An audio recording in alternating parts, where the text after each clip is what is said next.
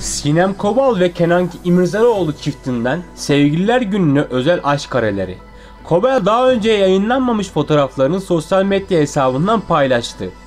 Hakan Altun'dan Sevgililer Günü mesajı geldi. Çare yok, ölmüşe olmuşa, ayrılık çıkmış aşk fallarında. 2020'de bende durum yine budur. Tüm sevdalıların Sevgililer Günü'nü canı gönülden kutluyorum.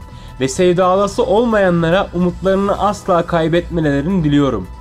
Şükran Ovalı ise kocaman bir iyi ikisin hayatımda.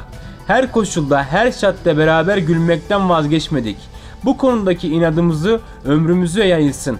İyi ki eşim, iyi ki yol arkadaşım, iyi ki mi kızımın babasın. Hem aşkla huzurla seni çok seviyorum ama çok seviyorum aşkın mesajlarını paylaştı. Lütfen bu tarz videolardan haberdar olmak için ve beni bu yolda desteklemek için kanalımıza abone olmayı unutmayın. Teşekkürler.